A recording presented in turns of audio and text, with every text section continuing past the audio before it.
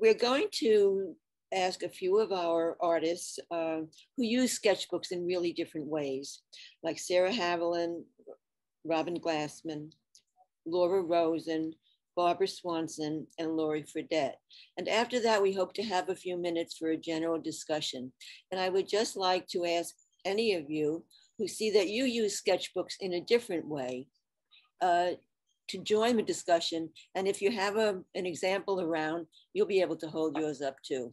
So we have just about a half hour for the whole thing. So um, I'd really like uh, us to get started. I, I can start just by telling you that I've been using sketchbooks since the late 80s when I was spending weekends in the Catskills and going hiking every weekend. And that lasted for maybe 20 years. Uh, and what I did was keep a sketchbook, a small one, you know, just um, something that could fit in my backpack.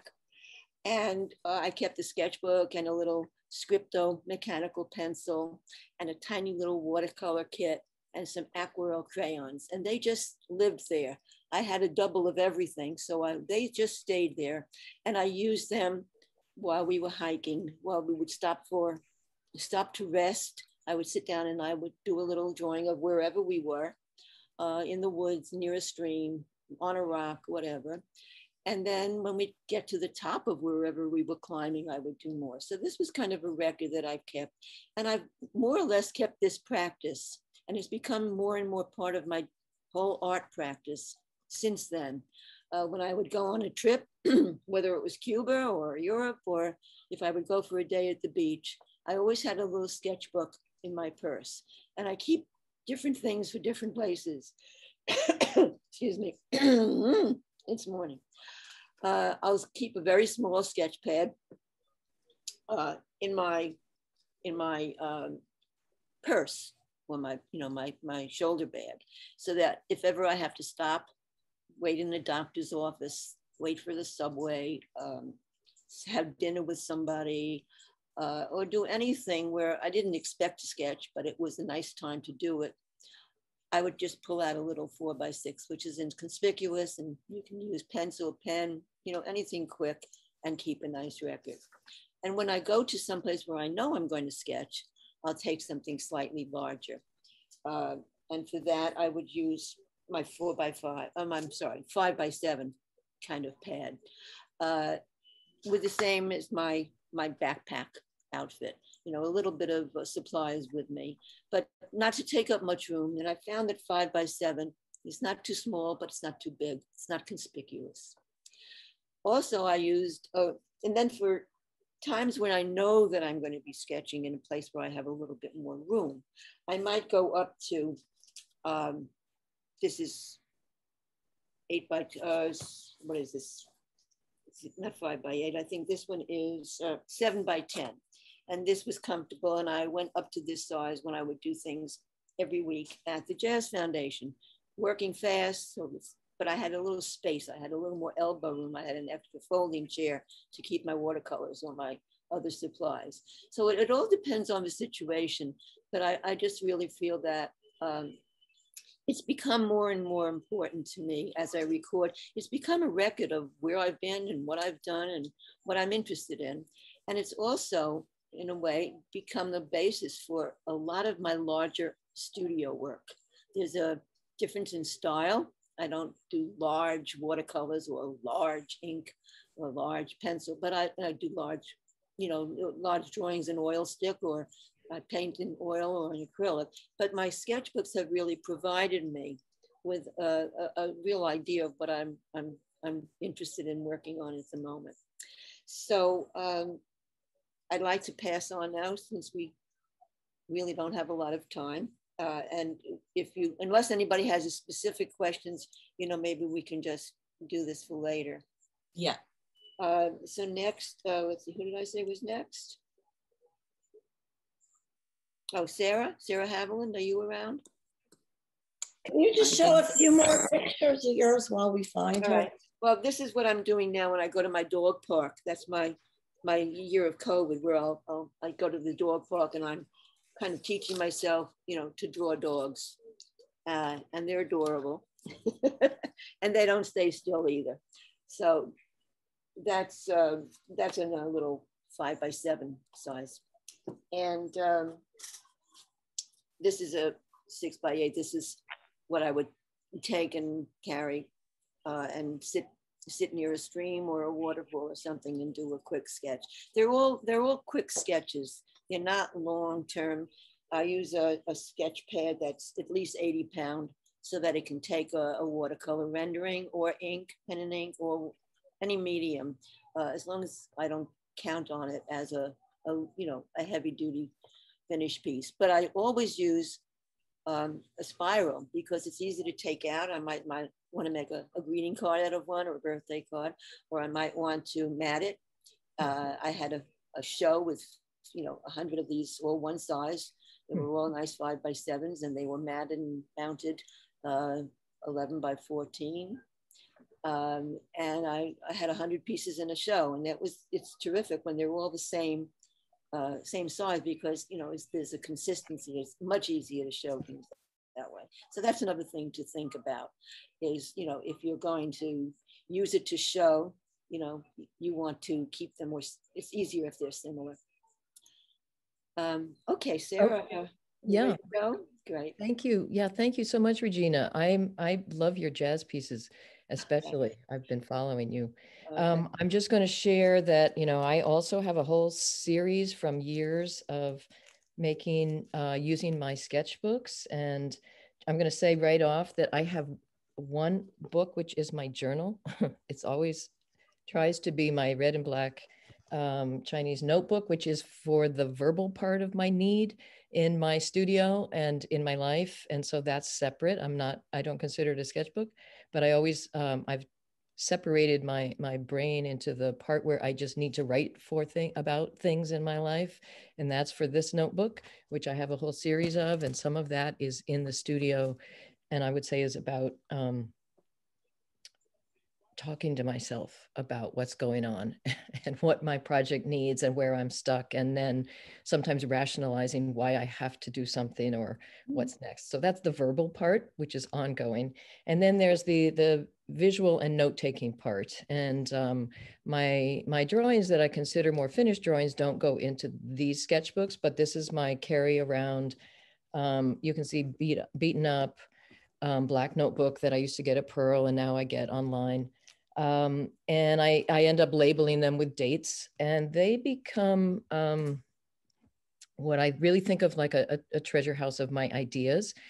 A lot of it a lot of it is not very beautiful to look at um, but i do use it in lots of different ways. So in the studio i always have it with me and there will be the occasional just you know i need to make a drawing i need to use some color and i'm observing something in my life um, that's that i just have to respond um, sometimes most often it's in pen however and most often it's kind of very practical so I'll just show you a few pages of those where I am writing, um, you know, making making sketches of ideas. And I'm a lot of it is things that may happen and things that never happen. But for that reason, um, I return to them. And my, you know, some of these I'm tabbing for today, but I have tabs all over them because they're ideas to return to or sketches that I thought ca captured something that I'm going to return to and so when I'm working towards a new project, I will go back and look at a few of the older ones for to if I'm responding to a, a particular project, which happens in sculpture a lot, you know, come up with a proposal for something and I'll go back to my, you know, recurring ideas, the things that haven't gone away.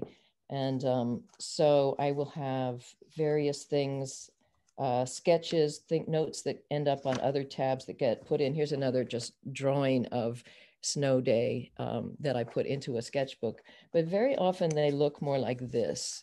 And this is, this is the technical part of sculpture. And you're gonna see um, things that I'm working out about armature inside the sculpture, notes that I have to write to myself, even like steps, one, two, three, do this, do this, following steps, because there's a lot of um, practical aspects. Um, and then I'll write, I actually usually only sketch and make notes on the right side and then the left side of my page becomes extra notes. Oh, here's like a floor plan for a show.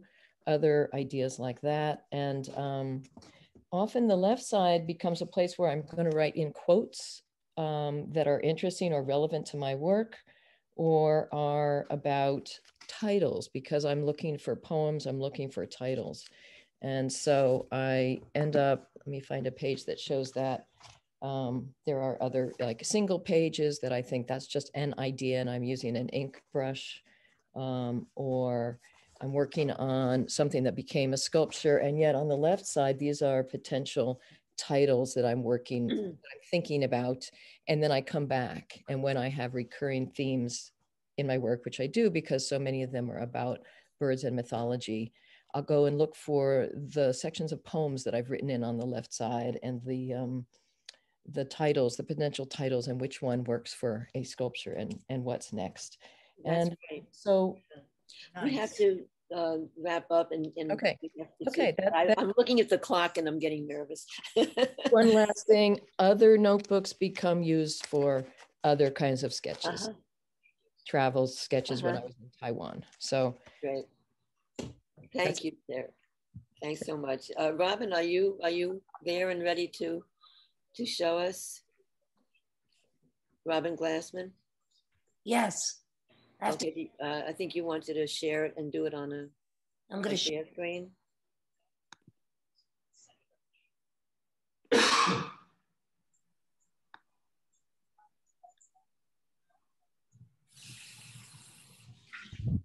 Yeah, I I don't count on my own.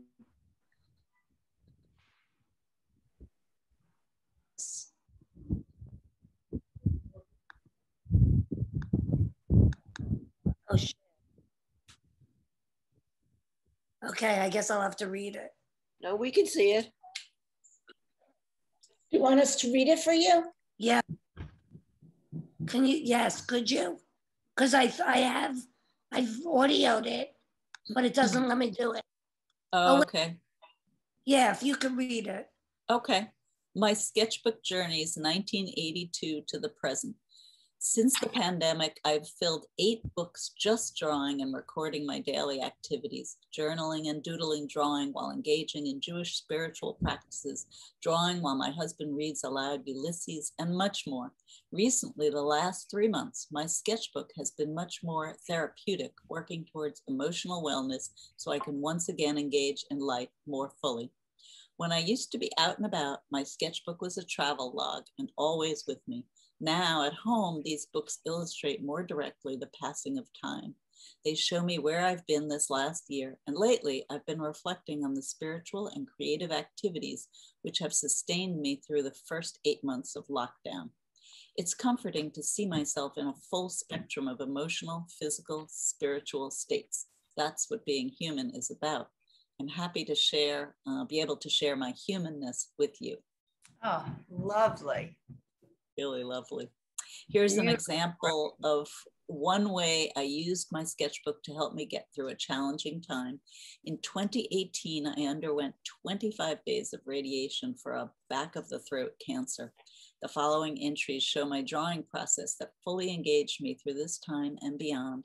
I've always let life dictate my drawings, sometimes more, sometimes less, depending on what is happening. Oh, wow.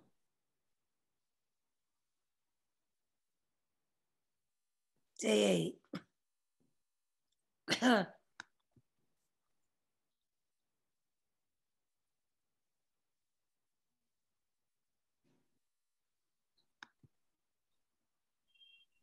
and this was after it was done.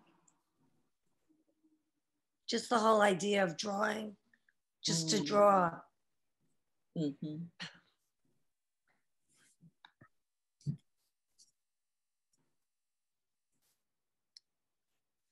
This is very typical of what my drawings are like when I'm just and oh, I can't get out of this now. Get out of here. What? These next few drawings are part of another countdown process, this time both global and also personal. At the second night of Passover, there is a practice of using the Kabbalistic counting the Omer for 49 days until we reach another holiday called Shavuot. Five years ago, when very sick, I was first introduced to the counting of the Omer. Every year since I've engaged in this Jewish spiritual practice, it's been a way to honor my existence and remind me of how far I've come. Last year, with the extra time and intention, I translated each day into a drawing a day. Enjoy.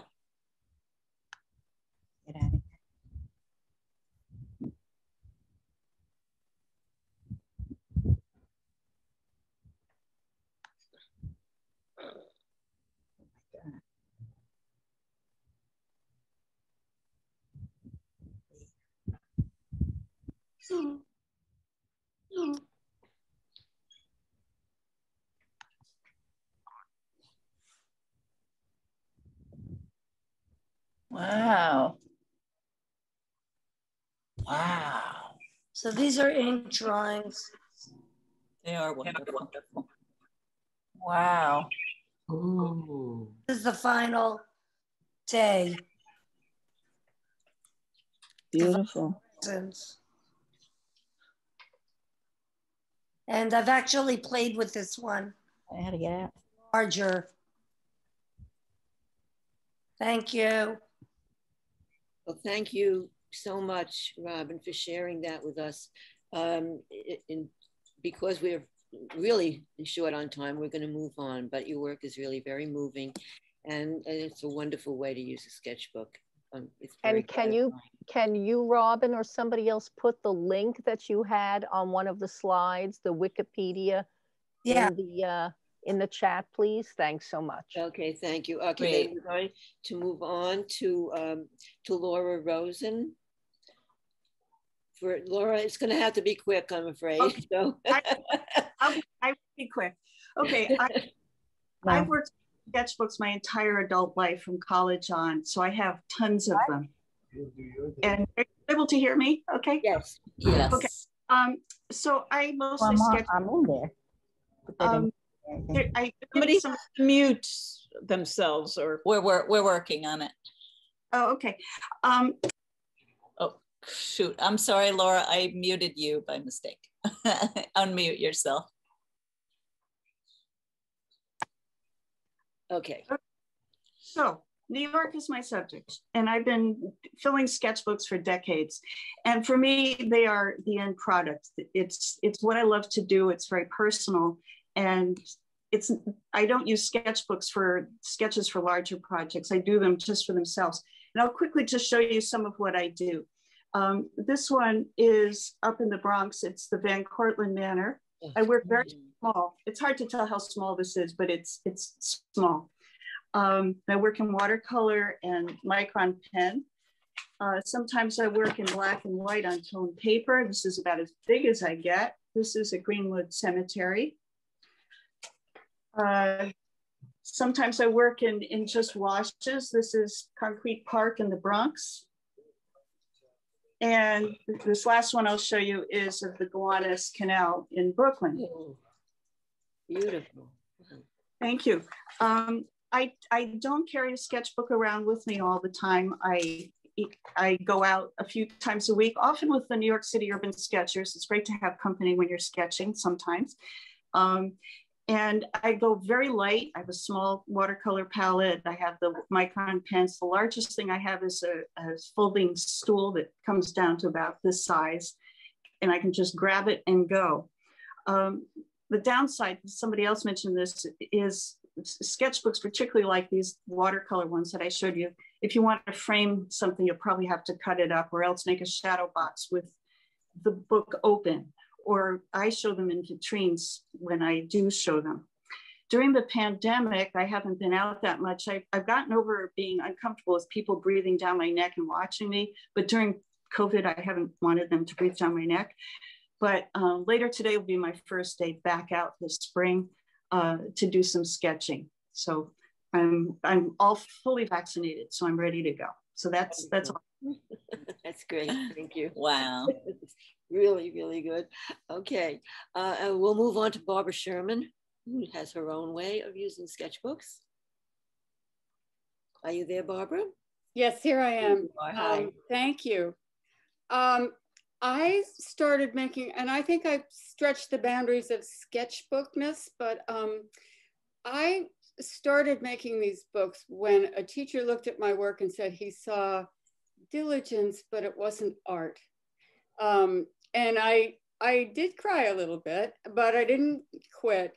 I, I, got a, I got one of these blank books and I just said, the heck with it. I'm just going to do something that's just for me. I'm not going to do anything nice to appeal to anybody else. This is totally for me. And I started with um, Leonardo da Vinci's dying words, which were, if I could, if I, and that was it for him. And then I just started, I started making collages and cutting things out and finding images that I like and then writing down any notes that I had. Now here I did, this is Lady Cecily Heron, a drawing by um, Holbein. And I put her right with Georgia O'Keeffe because I think they kind of, they struck me as being um, similar. And then I just started really playing and I'm just gonna open these up randomly, make, cutting out, um, I would just go tearing through magazines and the newspapers and anything I saw, just randomly. Uh, and then I eventually went back to that class and the teacher, I mean, I was kept going to class all the time. The teacher looked at it and said, well, this is a playground for you. And I thought, well, that actually is really exactly what it was. I kept up my diligent drawings. Then I started doing this to my date books. Like here's um, February 14th, the week of February 14th. I decided to make my life beautiful. And then here's another page.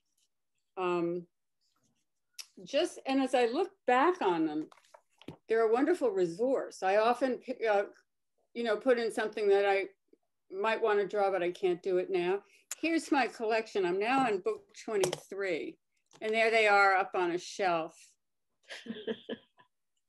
and um, so it's been wonderful for me. It's, uh, and going back, I can get another idea. I also write, um, according to Julia Cameron and The Artist's Way, I write three pages every morning, but that's in one of those black and white composition books. Journal, I do yeah, it while I'm journal. still lying in bed. Yeah. Three pages that's total nonsense, you know, just keep your hand moving, keep your hand moving. Journal. And that's yeah. it. Thank you for inviting me. Well, thank you, Barbara. This was really interesting. Okay, well, um, and one more. We'll, we'll have time for one more quick one, and I hope we'll be able to talk a little after. This one is going to be Lori, Lori Fredette. Uh, Whoops, Fran, Sorry. you have, you have her, I um, thought I Insta- did, but who did Yeah. something with her Instagram uh, feed using her sketchbooks. Okay, Lori is sharing the screen. So Great. Hi, Lori. Hi, everyone. Um, so I'm going to try to be really fast, so excuse the rapid um, expression. So I received an award um, to fund a passion project, and it's called At Spaces for Thinking. You'll find it on Instagram. Um, because I find myself wondering how we gather and hold the intangible.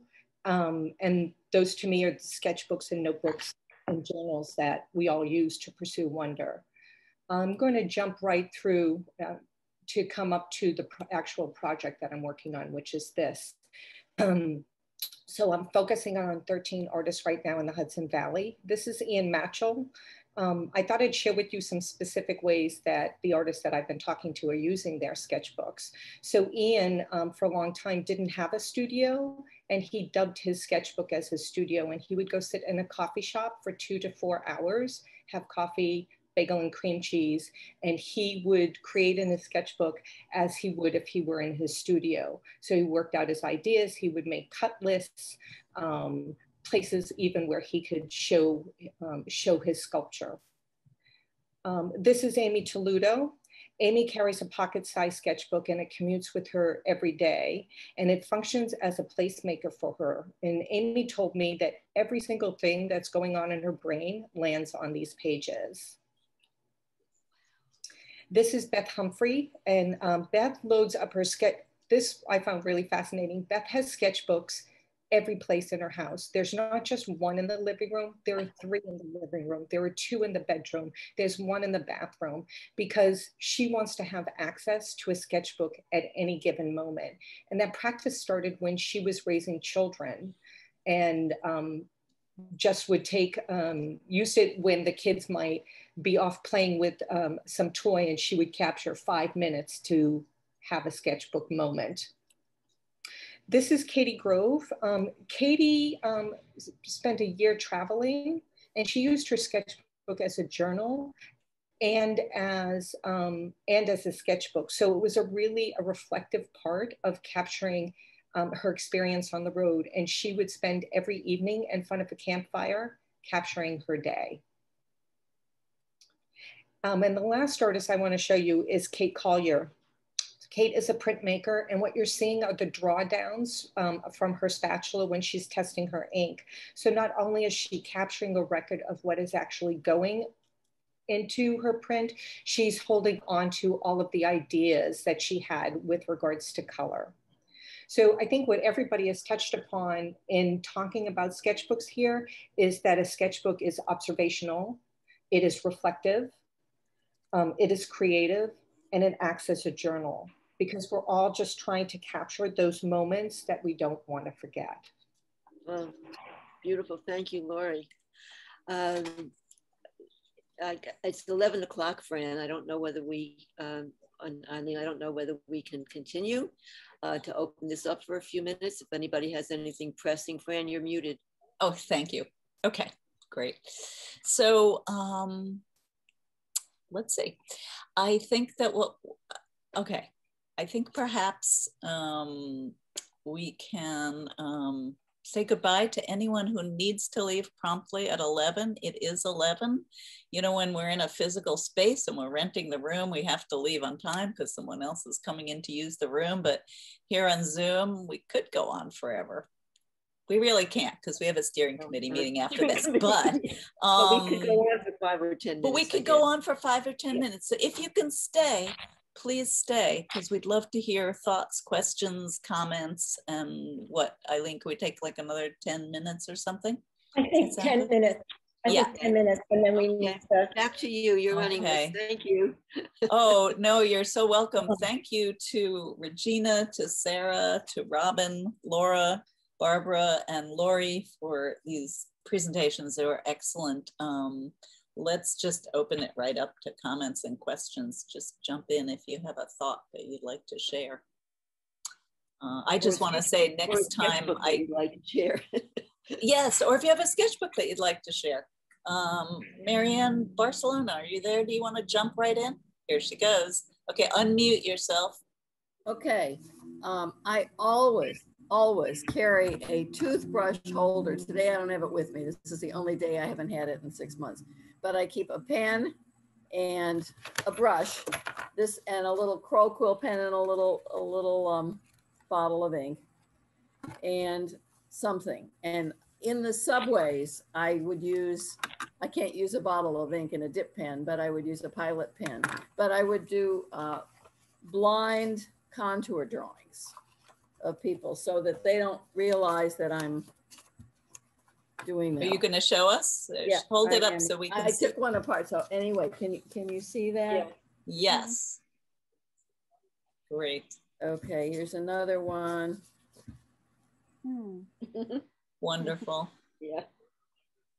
While you're showing them, can I just say that I did a little quick demo workshop with Marianne on sketchbooks. And hmm. the first thing she had us do was to take our materials and make a big mess. That was her instruction on the first page. Everyone was like, I don't want to mess up my book. And she said, No, you have to do the first thing you have to do is make it messy because that's what it's all about. We, don't, we want to be uninhibited in our sketchbooks. And I love that. Thank you. And then I have this, I like landscape books, so I've been using them lately. And when I get crazy, I just need to draw something. So I have plants around that I draw with the dip pen. Uh, and I use black and brown ink and graphite and mix them. Mm, nice. So just whatever I'm, oh, and this one I did a collage. I did a, I started gluing things on. I carry a little glue stick with me too. So I would tear a page out of the back of the, the book and make shapes that I could put on to create forms.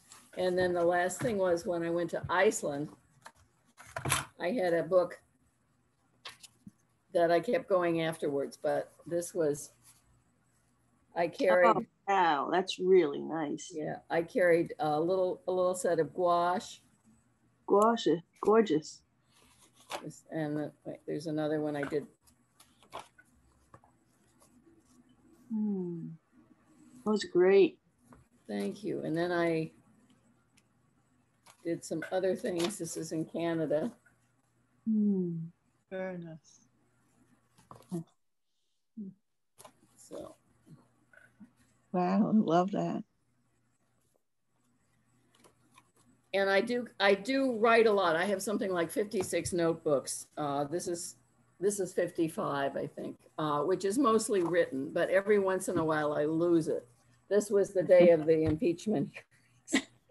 and I was stabbing. I was I never do this, but I was I was so anxious and so angry at some of the testimonies Terrific. that I this is unusual for me. That's Usually amazing. it's just- That's it's really, just I mean, written. You're, But you're I really love it. catching, you're catching so much of what we all feel and do. And, and I, I just love the way your book combines all of these different things. I mean, I think the biggest thing is, you know, like what everybody is saying, you know, it's, it's a way of, of, of, it's a playground or it's a, it's a journal. It's, it's us. And I, I think that's what's so great about them. It's so personal. Barbara Ellmann got me to change it. Usually I was keeping the words completely separate from the drawings. And I talked with Barbara, she puts everything in one book.